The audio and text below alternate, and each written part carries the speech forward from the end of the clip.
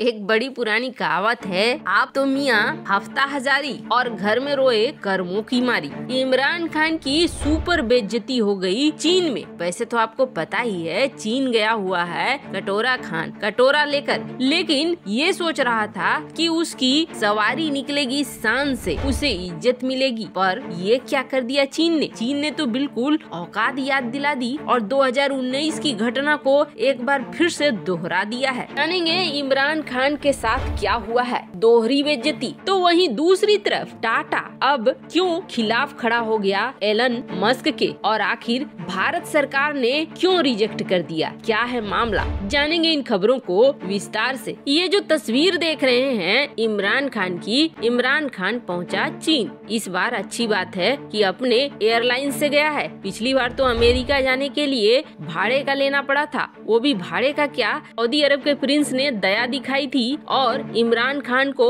अपना private jet दिया था। लेकिन वो भी जब उधर से लौटने वाला था और सऊदी अरब को कुछ बुरा लग गया था तो बीच रास्ते में ही इमरान खान को छोड़कर वो प्लेन वापस आ गया था। खैर, जाने दीजिए उस बात को। अब ये देखिए, ये तीन बंदे खड़े हैं। एक कुरेसी है, बीच में इमरान खान है और एक ऐसा लग रहा है जैसे फवाद चौधरी है। ये किस तरीके से चीन में अलग थलग पड़े हुए हैं। पर मामला सिर्फ़ यही तक नहीं है। इमरान खान खान एक बड़ी सोच के साथ गया था। चीन, ये सोच कर गया था कि एक तो तीन बिलियन डॉलर का हमें मोटा माल मिल जाएगा और दूसरा ये सोच कर गया था कि जिनपिंग के साथ मुलाकात हो जाएगी। जिनपिंग को मना लेंगे कि पुतिन के साथ भी मुलाकात हो जाए और उसके बाद भारत के खिलाफ कुछ बड़ी बड़ी प्लानिंग करेंगे। वैसे सोचने का क्या है? सोचने में कौन सा पैसा लगता है? इमरान खान ने बहुत कुछ सोच लिया। इमरान खान ने ये भी सोचा कि बिल्कुल रेड कारपेट की तरह उसकी स्वागत में चीनी निगाहें बिछ जाएँगी। पर ऐसा कुछ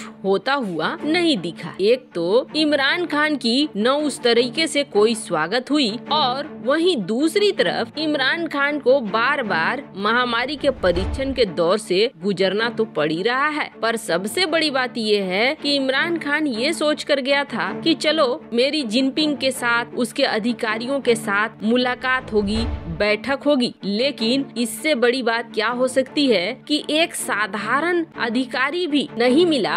आमने सामने इमरान खान से। ये जो तस्वीर आप देख रहे हैं स्क्रीन पर ये बैठा हुआ है चीन का अधिकारी और इधर पाकिस्तान की पूरी डेलीगेशन, जिसमें कुरैसी भी है, इमरान खान भी है और उसके साथ साथ दो चार और हैं। लेकिन ये मीटिंग हो रही है ऑनलाइन, वर्चुअली। चीन के कोई भी अधिकारी हो, वो इमरान खान से सीधे सीधे नहीं मिल रहे हैं। अब इससे आप अंदाज़ा लगा सकते हैं कि इमरान खान की क्या स्थिति है चीन के अंदर। वहीं पुतिन से सारे अधिकारी मिल रहे हैं, सारे लोग मिल रहे हैं, जिनपिंग भी मिल रहे हैं। वैसे आपको बता दें, पाकिस्तान और इमरान खान की ये बेजती कोई नई नहीं हुई है। 2019 में भी इसी तरह की बेजती पाकिस्तान के प्रधानमंत्री इमरान खान की हुई थी। लेकिन अब तो आदत सी पड़ गई है। ऐसा लगता है जैसे बिन बुलाए बारात में घुस आए हूँ। तस्वीरों को देखकर तो यही लग रहा है। वैसे चीन गुलामों के साथ गुलामों की तरह ही व्यवहार करता है। ये कई बार देखने को भी मिल चुका है। पर इन सब के बीच अब बड़ी खबर निकल कर आई है कि एलन मस्क के रिक्वेस्ट को भारत ने रिजेक्ट कर दिया है। और रिजेक्ट करने के बाद बवाल और बढ़ा है। बवाल इतना बढ़ गया है कि अब टाटा और महिंद्रा भी सामने आ गए हैं। टाटा, महिंद्रा और एलन मस्क जमकर लड़ रहे हैं। क्या है मामला? जैसा कि हमने आपको पहले बताया है, एलन मस्क अपने इलेक्ट्रिक कार को भारत के अंदर लॉन्च करना चाहता है। और एलन मस्क का डिमांड ये है कि जो आप टैक्स लेते हो, वो टैक्स कर दो कम, यानी इम्पोर्ट ड्यूटी कर दो बेहद कम। इम्पोर्ट ड्यूटी इतनी कम कर दो कि हमारे कार खरीदे जा सके, लोग वहाँ पर खरीदे। भारत में इम्पोर्ट ड्यूटी लगने के बाद कार के दामों में बड़ा इजाफा हो जाता है। और बड़ा इजाफा होने के बाद बहुत कम बिकेंगे। ऐसे में आप हमारे लिए इम्पोर्ट ड्यूटी को हटा दो लगभग। पर भारत ने ये कहा कि हम इम्पोर्ट ड्यूटी को तो नहीं हटा सकते हैं। आप ऐसा करो